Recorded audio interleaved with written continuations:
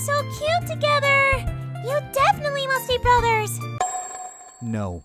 How many times do I have to tell you that it's not true? We don't even look alike, and I almost don't know him at all. Oh, and. Let me out! Now! Are you out of your mind? I swear, Zoe, I'm gonna kick your ass when I get out of here! Ah, let me out!